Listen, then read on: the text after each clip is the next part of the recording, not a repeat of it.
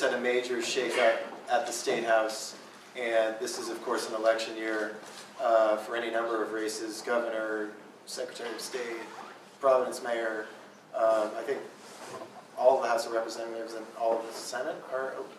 So my first question is, I mean, and so many of the things I learned in my article that are holding us back from being greener, be it a statewide plastic bag ban that's currently up at the State House, or a comprehensive compost bill, or uh, the resilient Rhode Island bill that uh, Abel wrote a little sidebar on. Uh, what, what do you think the shakeup that just happened at the State House means for green things? Are we going in the same direction, slower, faster? And what could this election year bring potentially in terms of green policies in the state? A couple of you guys spent some time at the State House. I see Frank picking up. It's- I don't want to touch that. I'm not a, I'm not a State House reporter, because I'd probably get assaulted if I was up there, but I, it's, I don't know enough about all the individual players and who's running yet, because, you know, I will hopefully by the time we vote, but it seems like it's just a constant, we're running to stand still. I don't, I mean, we lost, I don't think the change in House Speaker, it shook up, uh, different committees and stuff, but I, I think it's just the status quo. I don't, we have, we have to vote, voting people, we're talking about uh, the environment here being green, that prioritize this. And I don't think, I mean, there's some, don't get me wrong, that are up there now that do, but for the most part, as a collective, it's not a high priority. It's always growth, growth, growth, build, build, build.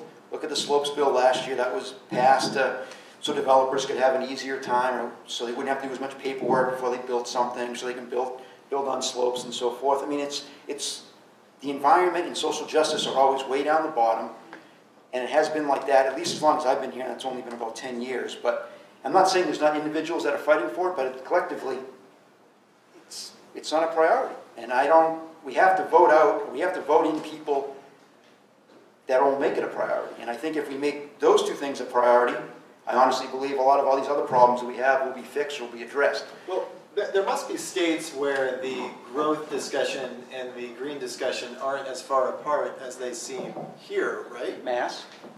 How do we get those things closer to one another? You know what I mean? Better politicians? I mean, there's also educate, uh, it's, I mean, all the people here, uh, do great work for, you know, advocating for this. Without these people up here, I'm not including myself, we wouldn't have a lot of these things. It's always the grassroots. We always got to keep pounding, pounding, pounding for these environmental and social justice issues, at least in this state, at least in the 10 years I've been here, it seems like. So to change that, how do we get that? We have to get more people that will embrace it and that won't push back against the stuff Jamie, Abel, Sheila are doing. I mean, how do we do that? Break the, break the cycle and bring in new blood. But as Abel said, there's not that many people that, that run. I mean, how many races are uncontested? A lot. Uh, I know the mayor's race here isn't, but throughout the state it is. It's the same people and it's the same stuff. And they basically, a lot of them just want to keep the status quo.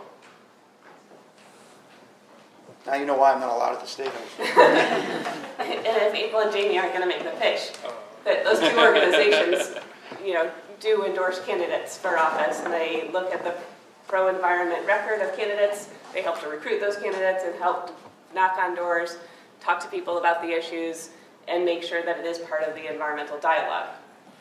I'm going to ask Sheila a quick, maybe easier question. We're in the city of Providence. Uh, what happens in Providence in terms of green policy obviously has major implications for the state. Can you tell this crowd a bit about the plan that's coming out later this spring? Yes, I'd be glad to talk about that. So the Sustainable Providence Plan um, is the plan to achieve Mayor Angel Taveras' six sustainability goals.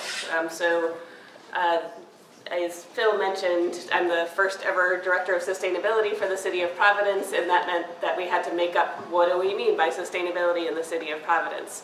Um, and so the mayor set goals in the categories of energy, food, water, waste, land use and economic development, and transportation. For where do we want to be over the next 20 years in each of those three areas? They're on our website, providenceri.com, or come see me